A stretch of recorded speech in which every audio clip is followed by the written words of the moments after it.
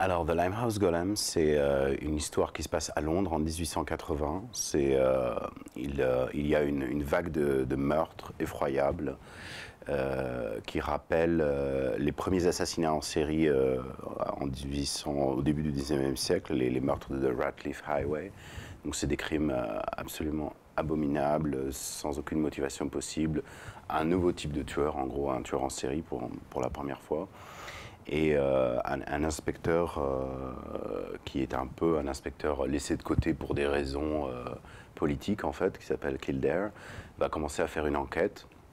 Et, son enquête, il va rencontrer plusieurs personnages liés au monde de, du musical, euh, de la nuit londonienne de cette époque-là. Et en gros, euh, dans cette un peu tapisserie humaine, il va, euh, il va peu à peu assembler l'identité du tueur, en fait.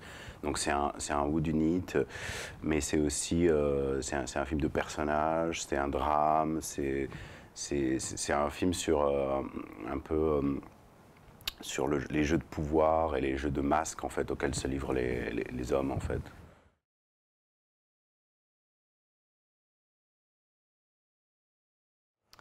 Alors, euh, j'ai grandi avec, euh, en fait, euh, j'ai grandi avec le cinéma britannique dans les années 80. J'étais vraiment fasciné.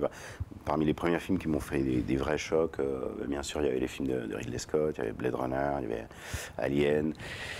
il y avait aussi Excalibur, les films de John Borman, les films de Nicolas Roeg, Hitchcock, Michael Powell, Ken Russell. C'est des cinéastes que j'ai découverts quand j'étais gosse, adolescent, qui m'ont vraiment beaucoup marqué.